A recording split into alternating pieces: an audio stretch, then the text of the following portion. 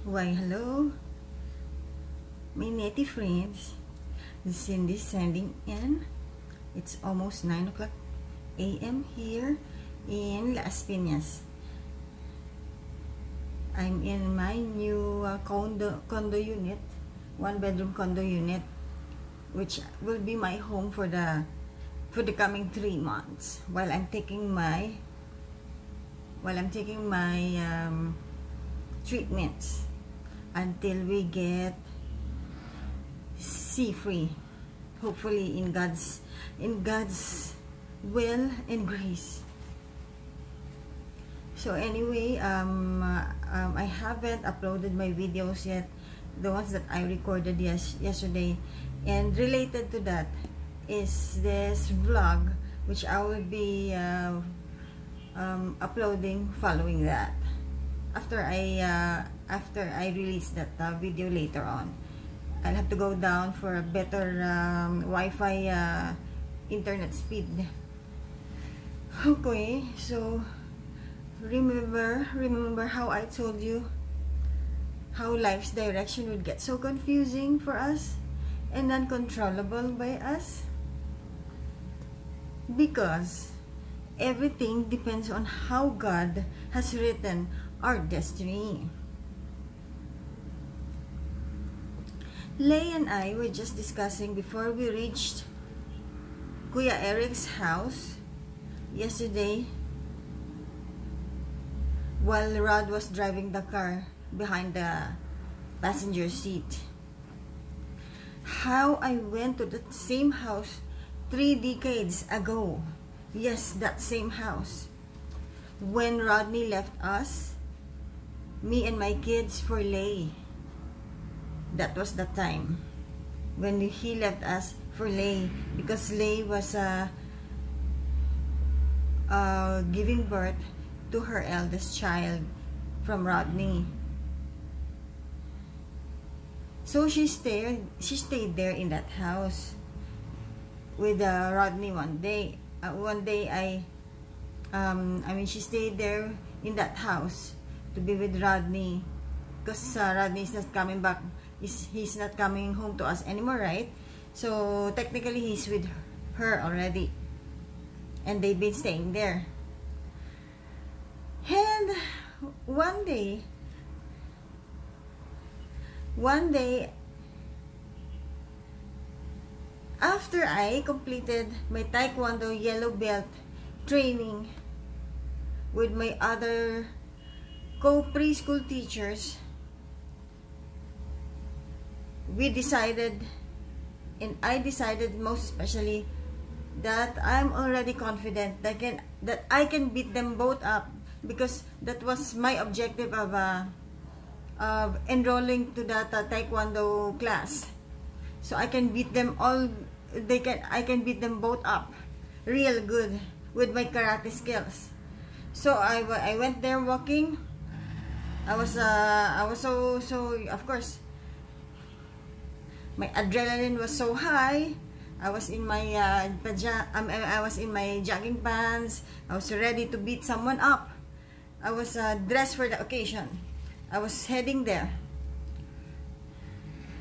So when I knocked the door, their aunt was still alive back then, then opened the door for me. And she showed me the room where they were staying. But when I saw her with the baby bes sleeping beside her,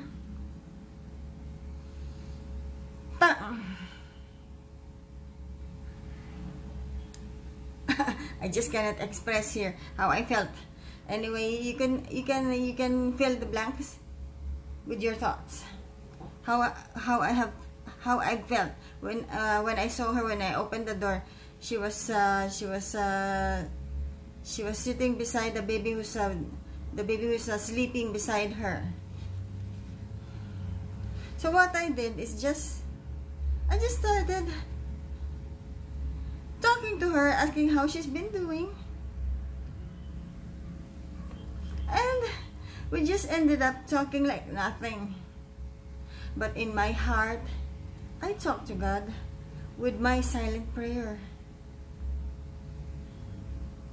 And looking back to this day, I could never be thankful to Lay, how Lay have saved me,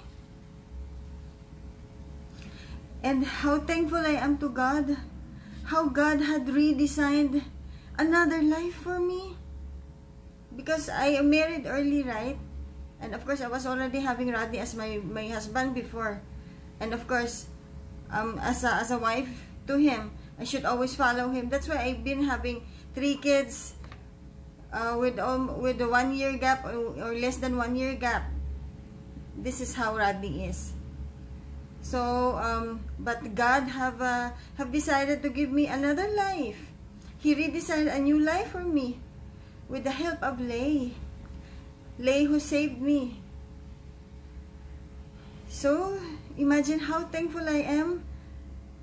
Why did why God had made that happen?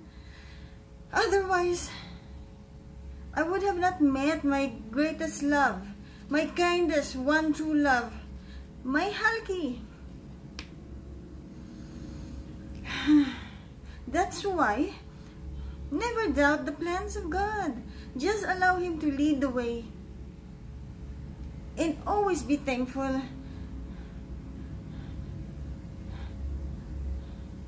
Thankful to Him that He is just there with us, beside us, to guide us.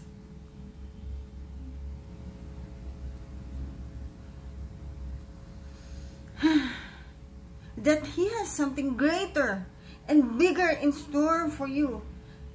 Just wait and see. And this pandemic we have here, this is just one of them. Believe me.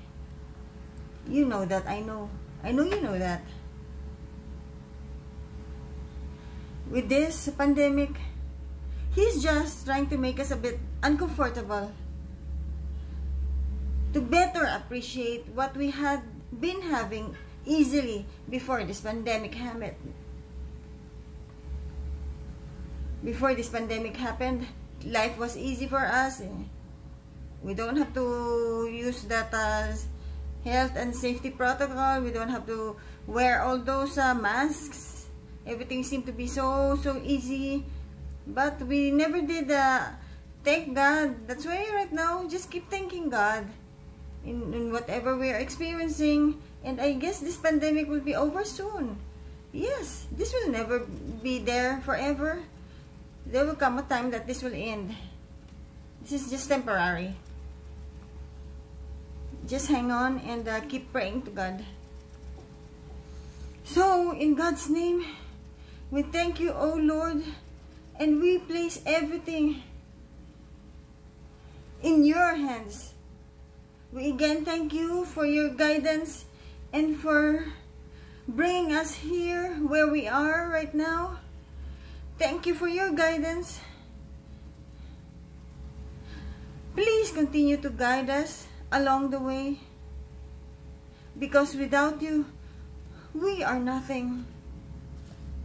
So, this is Cindy signing out.